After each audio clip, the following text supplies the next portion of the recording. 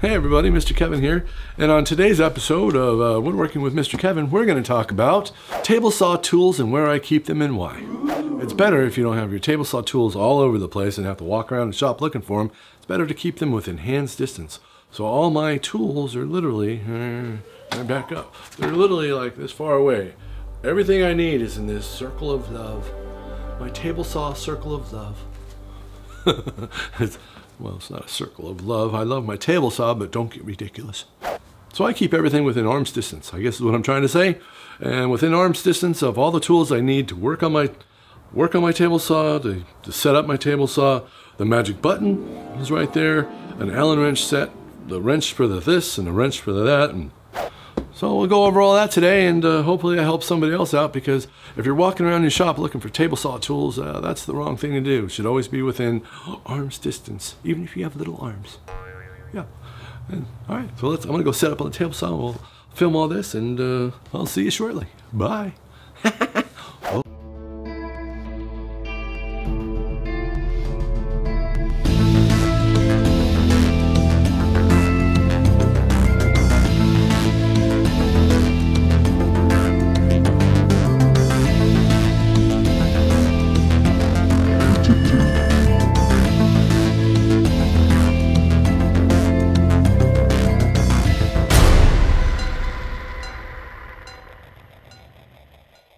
So the first thing I'd like to talk about today is uh, where I keep my table saw tools and why I keep them where I keep them and uh, why they're only this far away. I keep all my table saw tools within arm's distance because I don't want to walk all over my little tiny shop, which would be miles. You can see how big it is. Uh, take forever to find anything in here because it's such a mess. But uh, I like to keep everything at arm's distance. Everything I use for this table saw, everything. And we'll start with the magic button. All right, I have my magic button right here. Turn it on.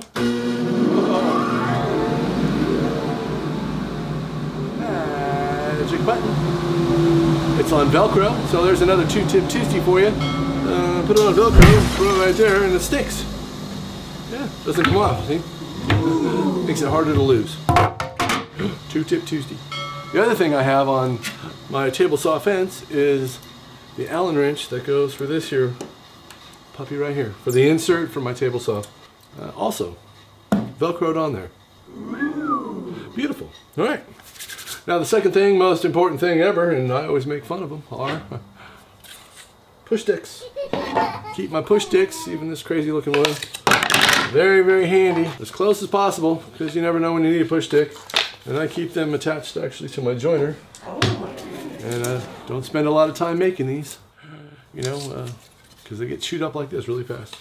So, push sticks. Keep them as close as possible within arm's reach. That way if you need it, eh, boom, it's right here. I grab it and off it goes.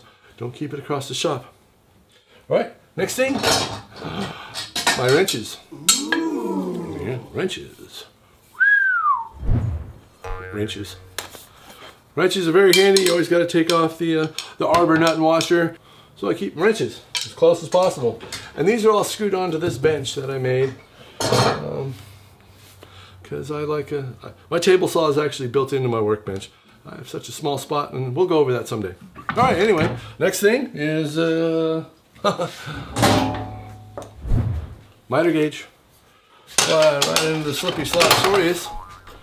And you set it up, you can put it down there, boom, boom. Okay, boom. Miter gauge, very handy right here. And that's actually built in, and that's actually built into the saw, which is awesome for SawStop. Yay, SawStop. All right, another thing. Uh, right, ooh, look right here. This is my uh, my blade height adjuster jig. And I'm going to show you this closer up. Uh, this is for setting your table saw. Okay. Your blade height. So if you ever want to set your blade height to all different sizes, it goes from eighth inch to a quarter inch to 5 sixteenths and 3 eighths. These are the sizes I use the most, okay? You can make them whatever you like, and I'll show you how to make this real quick in a, a video right after this one. All right, cool. So th this is right here. Okay, and the next thing I have is a set of squares. Little plastic squares in case you want to set something up, double check something see if something's 45 for real or not. Uh, plastic squares keep them right on the side here and out of the way. All right. And last but not least, uh, I don't know if I can grab them all barehanded or not. all right, here we go. Uh, going down. Oh no, there's more down here. Hold on. Huh. All the table saw blades that I use. There's a whole video on table saw blades over here. All right. And these, kind of keep in order because I'm kind of weird that way. I go from my uh, milling solid stock all the way down to plywood. And they're way in the back, so I can't kick them with my knees because uh, I have a tendency to take out everything with my knees. All right, and the very last thing I have down here is a, uh, we can tell off and I use that. Angle jigs, right, my 22 and a half degree jig, uh, 45 and 22 and a half. So you got 22 and a half on one side, you have 45 on the other, right? And you can do it like this, or you can do it like that. Anyway, it'll hold itself up. That way you got hands free. You don't have to like hold the thing on there and check it and look. Those live down here too. And there we go. Another tip for you. When your table saw is not in use, put the blade all the way down so somebody doesn't come across and run their hand across it and slice themselves open. Yeah, two tip Tuesday. All right, and there you go. So that's my table saw tools and where I keep them. You keep them within hands distance so you don't have to leave the saw, don't have to go looking around.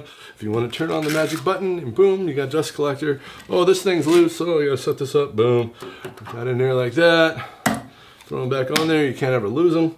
Uh, that way when you take your table saw fence off, they're still on there and you can't lose them, see? That's pretty good. I don't want to walk around looking for something if I need a wrench. It's right here. If I want to make sure something's square, I have to look. Yeah. I got me a square. I need a push stick. it's right there. If I want to cut something with a miter or cross cut something, I, it's right there. Everything is right there. Oh, and plus you have to have uh, compressed air. That always makes it more fun to use your tools. And last but not least, wax your tools. If you keep your tools all nice and waxed up, they'll be nice and slickery and everything will go better. well, thanks for watching. Thanks for subscribing. If you're new to the channel, subscribe. Hit the like button, notification bell, and all that. Fling, fling, the bang, bang. Yeah. All right, well, time to go. So you have an awesome day. Go outside and play. Hug somebody you love. Be safe out there. And I'll see you next time right here on the YouTubes on Woodworking with Mr. Kevin. That's me. I got to go. We'll see you soon. Bye.